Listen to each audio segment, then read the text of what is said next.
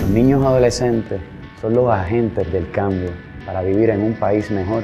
El silencio es cómplice de la violencia contra niños y adolescentes. No lo aceptes un segundo más. Denuncia. Denuncia.